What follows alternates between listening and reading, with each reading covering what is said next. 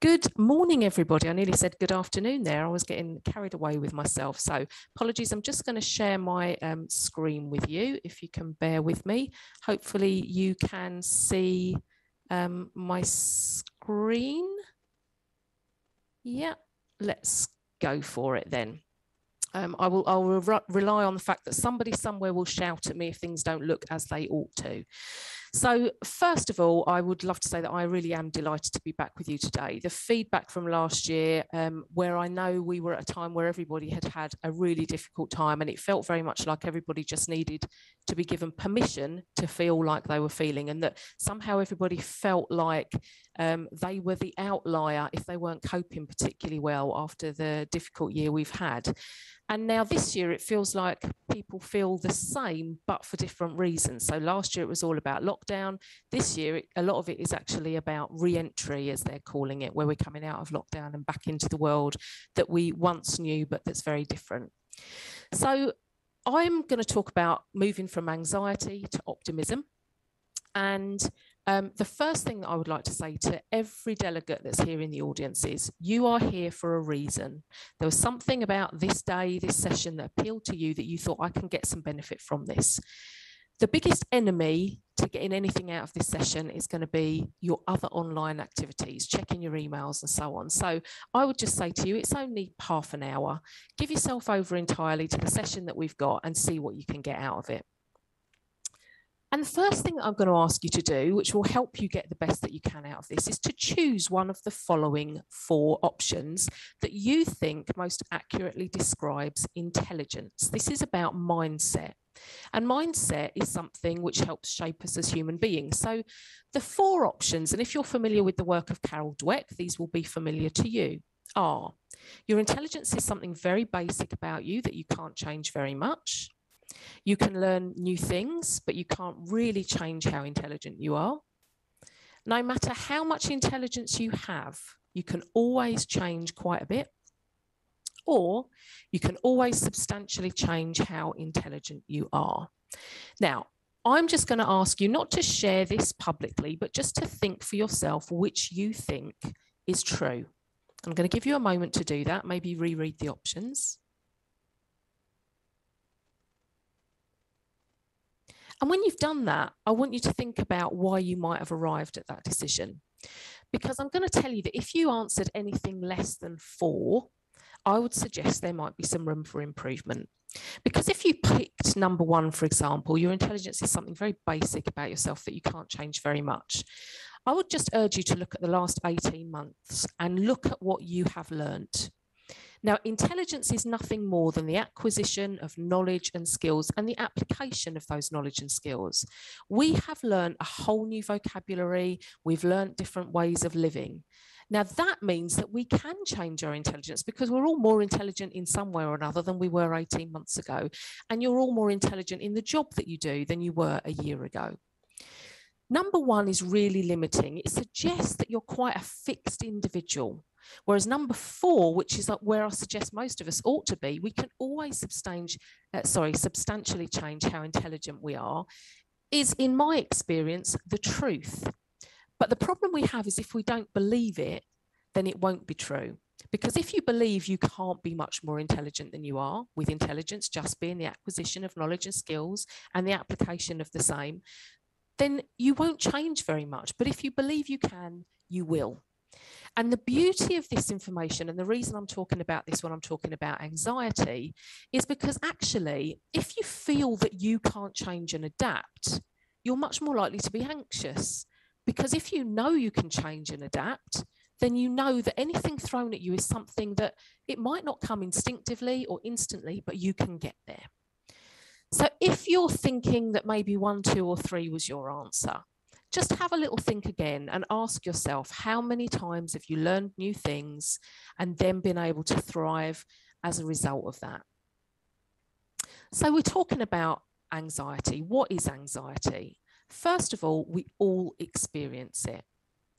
It is a feeling of unease. It's something that you can't necessarily put your finger on, but you know it's there. It may entail worry, fear, tension, and it can be mild to severe. It's often about what will or may happen. And the may happen is really important because anxiety can be about not something that's staring you in the face, but something you're predicting might stare you in the face. It can be experienced in physical sensations. So you can actually feel an upset stomach or a headache, or it might be in the thoughts that you have. But crucially, and this is so important, we're in a world now where thankfully the dialogue about mental health and mental illness has expanded, but that has led us to use some terms interchangeably and incorrectly. Anxiety is not a diagnosis, it is a perfectly natural human experience. So when people say, I suffer from anxiety, that might be correct, but that is not necessarily the same thing as having a mental health condition, which anxiety is a factor of. So if you feel anxiety and you've heard all these people talking about experiencing anxiety and suffering from anxiety, don't feel that that is in some way a weakness. It is not. Anxiety is a normal human experience. And our mission today is to explore when is it a problem and crucially, what are we going to do about it? So when is it a problem? First and foremost, when it's affecting your day-to-day -day life.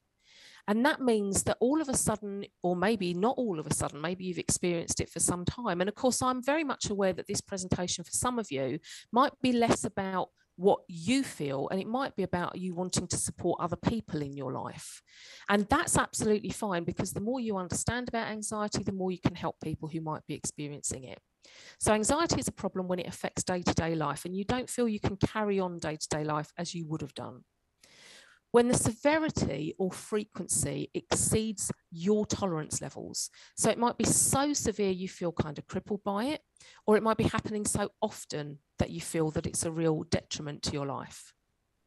When you kind of get anxiety out of proportion and you can see other people seem to be coping with things reasonably well, although word of caution on that, how people seem to be coping and how they are coping can be very different things. So are you getting things out of proportion? And if those things are something that you're experiencing, just remember that anxiety is very treatable. Normally, first and foremost, um, psychological therapies would be looked at. And if that doesn't work, maybe combination therapy with drug and psychological therapies.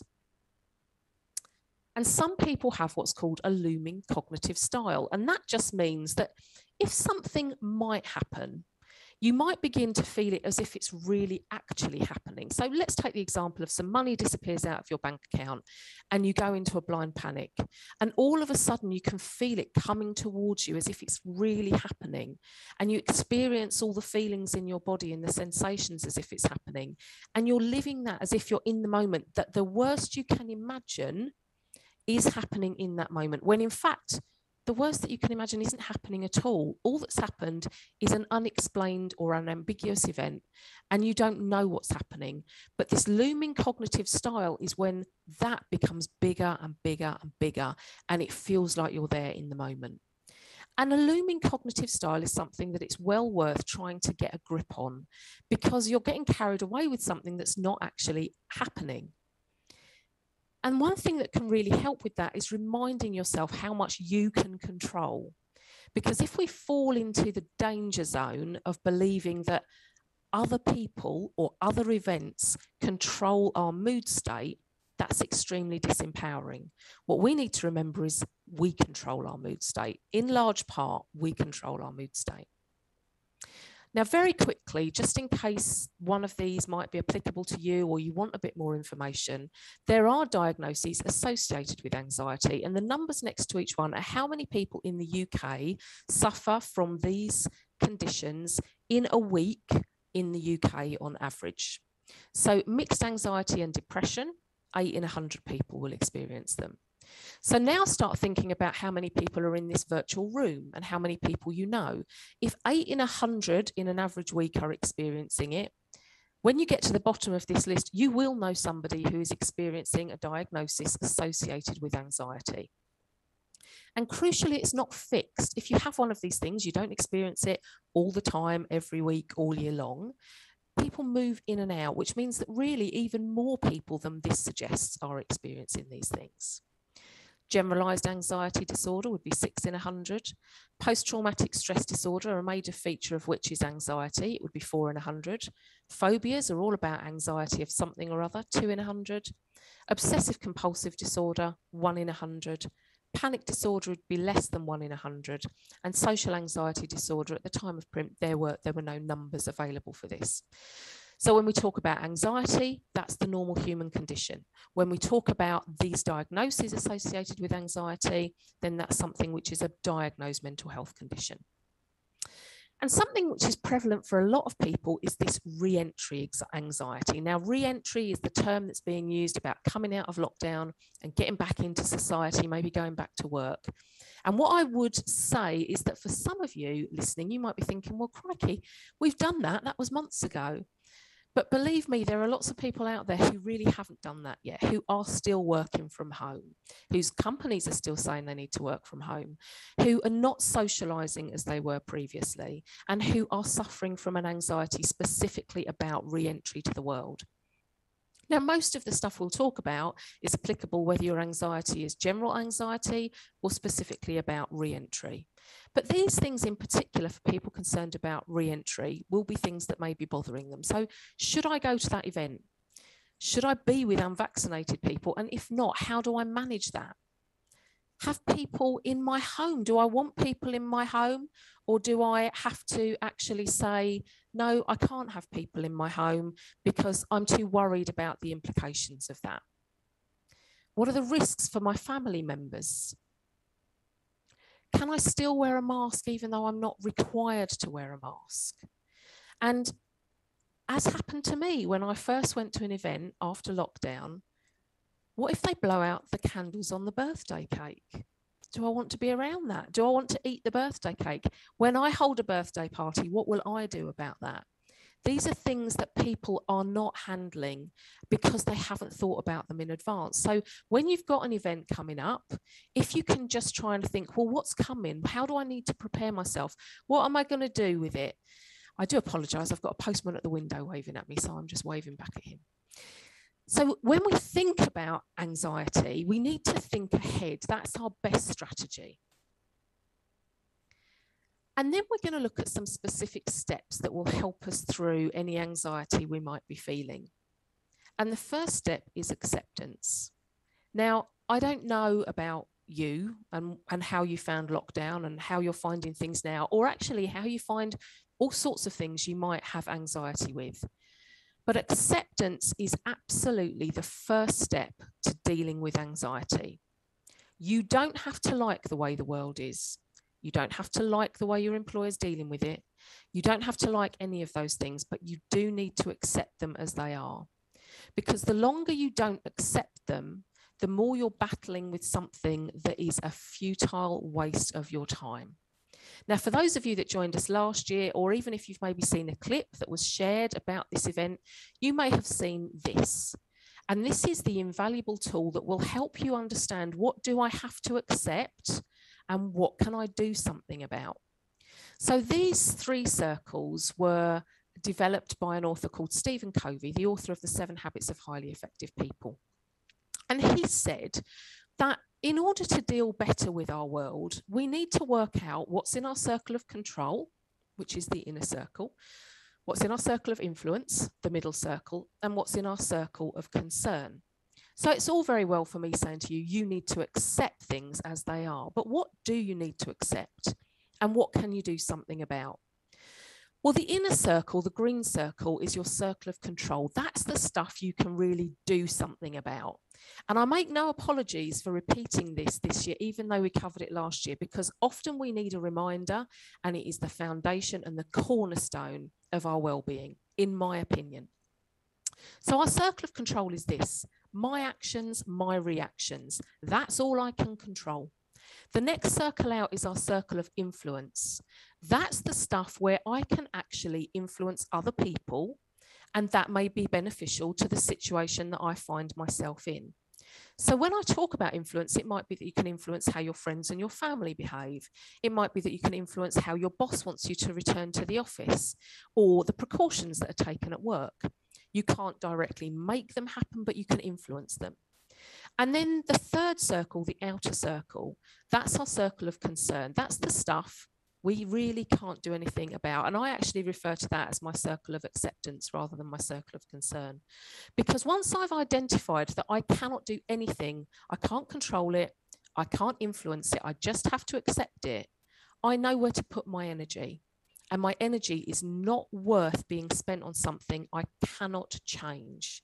So, for example, the fact there is a global pandemic, the fact there is a fuel crisis. The fact that there are so many things going on in the world that we're uncomfortable about, if we can't change them, but we can accept them, then we can move our energy into what we can control and what we can influence so that we can be an active agent in making things the way we want them to be, or at least experiencing them the best way we possibly can. Step two, avoid avoidance. If you're anxious about something, the worst thing you can possibly do is to avoid it because if you avoid it, the fear gets bigger and bigger and bigger and more overwhelming. So let's take re-entry as an example. If you're avoiding going into certain situations because they make you anxious, if there's a really good reason for that, that's fine. If you've really risk assessed it and decided, no, that doesn't work for me, that's okay.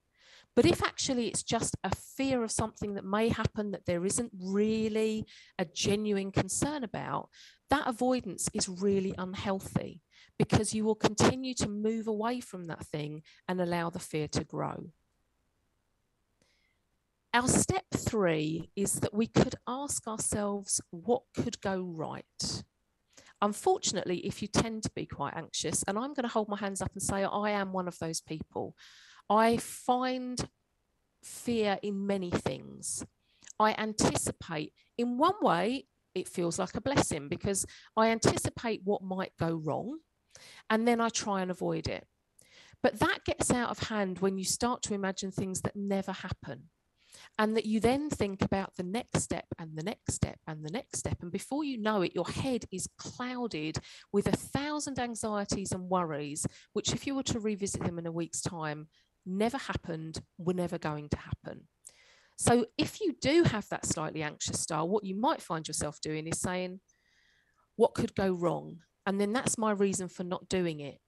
But what I would ask you to do is when you're looking at that box of possibilities, think of that image and ask yourself not could go what could go wrong, but what could go right. And the sorts of things that could go right are numerous. You might meet somebody you didn't expect to meet. An opportunity might present itself that you didn't expect. You might just simply enjoy yourself. You might be exposed to things that have been long in your past and you suddenly remember how important they were to you. And certainly, if during lockdown you found that some of the joy went out of your life, but now you feel that coming back into the world, you're anxious about things for, for good reason, then you now need to think about well, okay, what could go right if I were to do this? And you might start asking yourself, apologies, you might start asking yourself things like, what have I missed? Is it good company? Is it good food? Is it live music? And then can I expose myself to those opportunities in a way that feels safe for me and that I know there will be something good in it for me? But it's a process. It's not something you want to necessarily throw yourself wholeheartedly into immediately and, and then find that it was all a bit too much. It's something you want to do gradually in a way that you find works for you. And just ask what could go right. And then there's something that a lot of people are experiencing, which is social anxiety. Now, a, a, lot of people experienced social anxiety well before we came into the pandemic. But now, having been out of circulation for a lot of time and living our lives from kind of here up, more and more people are experiencing social anxiety. And again, when I talk about social anxiety, I'm not talking about social anxiety disorder. I'm not talking about diagnosed mental health conditions that you need specialist support for. I'm talking about situations where you might be walking into an environment and you just feel like you're not quite sure that you're going to be okay. And that can feel a lot like that. That can feel like maybe everybody is going to be looking at me. It can feel like maybe you're not going to know the right thing to say. It can feel like people might be looking at you a bit oddly. It can feel like maybe you've just forgotten the art of conversation or that nothing sits right. You've been at home in your tracksuit for so long that getting dressed up feels like an odd thing to do and everything feels a little bit artificial. And that's something which can become quite overwhelming. And again, when we talk about avoidance, this is something people avoid doing. They don't want to get back into these social situations. But it's so well worth getting back into the social situations because we as human beings are social creatures. In our DNA, we're programmed that if we feel isolated, that is something that we experience as a bad thing because historically, going back generations and generations to our ancestors and prehistoric times, if we felt isolated, if we wandered away from our tribe, we were in danger. And so now that's hardwired into us. If we feel isolated, that comes with real negative, both mental and physical health conditions. Loneliness and isolation have about the same negative health impact on you as smoking. That's a massive statistic. So if you feel that you're avoiding social situations because you don't feel comfortable with them anymore, ask yourself, what can I do about that? And the answer is you can plan and prepare. And think about the art of conversation. We're so used to taking the blame for everything, aren't we? We tend to hold ourselves responsible for everything. So when we get into a situation where it is a social situation, and all of a sudden, it feels like the conversation doesn't go very well. Even in an interview, we can do this. And we tend to think, well, that interview didn't go well. I must have been terrible. It takes two to tango, people. You know, we actually don't live in a vacuum. We're not all on our own. And if we're going into a conversation at work or socially, we need the other person to play ball with us. We need to relax and breathe into the space that we're in. It's only a conversation, it's not a performance. And maybe a good thing to do is to share your concerns. You will often find that if you say, Crikey, I feel a bit out of sorts with this, this feels quite alien to me now. The person that you're talking to will often feel the same. In a survey of 900 people that was done as we were coming out of lockdown, the statistics were that 37% of people were looking forward to coming out of lockdown, 36% were not looking forward to coming out of lockdown. So over a third of people were not looking forward to it. The chances that you'll end up getting in a conversation with somebody in the same position is quite high. And then the remainder didn't feel strongly either way. And when you have a conversation, and I would say this is a lesson for life, this is not just a lesson if you experience anxiety, is when you're talking to somebody, really listen to understand them. What we tend to do is get a kind of performance anxiety and think, right, I must be ready, ready with my witty retort or be ready to say something interesting. Actually, what the person you're talking to really wants you to do is to listen to them, to be able to sense that you understood what they were saying. And then, of course, you formulate your response. But if that response is on the tip of your tongue because really all you've thought about all the time they're talking is what you're going to say next, that isn't a good feeling. And you may think of times where that's happened to you. If you're worried about going into these situations, prepare a list of questions to ask. Now, I'm not suggesting that that list of questions is you walking in with a notebook, but just think, what would I say? And then, really importantly, what will I respond if they ask me? Because that's how conversations are supposed to flow. And if that person doesn't ask you any questions, that's not your fault. So don't beat yourself up about the fact that a conversation is sometimes not great, but not because of you. Crucially, if you feel anxious about social situations, and this was one of the highest areas of anxiety when people were surveyed, I think 46% of people said that their biggest concern was that social anxiety. Put the spotlight elsewhere. Stop worrying about yourself and how you look and how you sound, and if you're the one coming across as intelligent. And instead, put the emphasis on the other person, of really listening, of really understanding, of showing empathy to them, of being the person they want to be in conversation with because the spotlight is on them. And these are all things that help with the art of conversation and relieve your anxiety about social situations because suddenly it's not really about you anymore, it's about them. And that is the best sort of person to have a conversation with. Our step five is to seek progress, not perfection. Some of us are really hard on ourselves. And if we are coming through an anxiety, it might be because we're doing something for the first time, or it might be because we have a fear of failure that other people might observe us doing something wrong. We should always be about progress and not perfection because success is an iterative process. It takes time to get to perfection. But those of us with some perfectionist tendencies, again, hand held high, we don't like that feeling because if we like to be a perfectionist, if we think that's important, then we don't like other people seeing our weaknesses. And that can stop us trying new things, that can cause us to feel anxious. But if we want to be optimistic about the world, we have to have faith that people aren't looking to rap us for the wrong things. What they want to do is see us succeed eventually. And anybody with a good head on their shoulders knows this is a process. And we're really good at this with kids. I want you all to think of a time when you have seen a baby learn to walk. Maybe it was one of your own children. That might take you to a happy place, even better, because a good frame of mind is going to take you to a, a more positive frame of mind. I do apologize. My laptop has just leapt on on its own. So, thinking of that baby learning to walk, and everybody stands around and they watch the baby shuffle and then get up on its feet, maybe hold on to something, take the first few steps, and then it flops back down and it's all over. Does everybody clap and cheer? Yay, well done, that was brilliant. Of course they do, because they understand that that process is part of getting to the success. But as adults, what we do instead is say, actually, it didn't work. You might as well give that up as a bad job. Don't bother trying that again.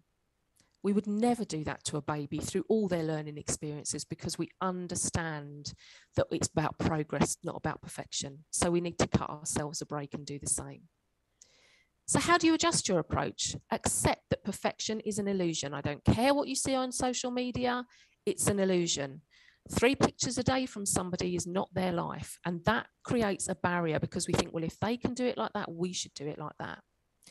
When we're thinking about things like re-entry, we need to ask ourselves questions like, if not now, when am I going to do it? When am I going to feel ready? Because I would venture that while it's still very scary times, and I do not minimize the fear that a lot of people have at the moment, I'm a risk averse person myself. But if not now, when? Is this the way you want to live your life for however long this may continue? Or are you prepared to accept that there are lots of steps you can take to minimize the risks, but that avoidance is not the answer? And that when you go back into the world, you might not get it right first time, but if you can be open and honest about that and accept progress over perfection, there is a way forward. Do you have reasons for not doing things? If you do, don't do them. That's great. Or are you making excuses? Can you accept that mistakes are okay?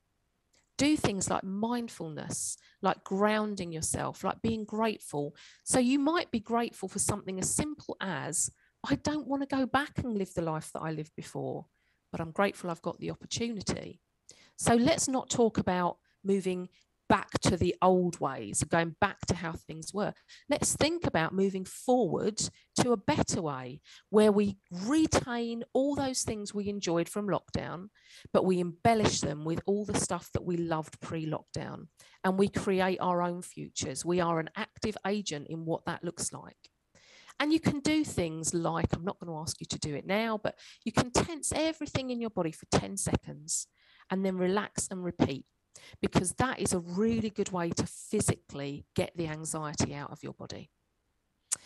And then I'm going to leave you with my final step, but we've still got a couple of slides to go after that. And my final step is to say, well, okay, we've talked a lot about what's in here, about your attitude, about your mindset, about how you can think about things differently.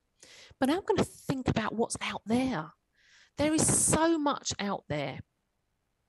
And a serendipity mindset can really help you with that. And this was uh, this is something that I picked up from a book called The Serendipity Mindset: The Art of Creating Good Luck by Dr. Christian Busch.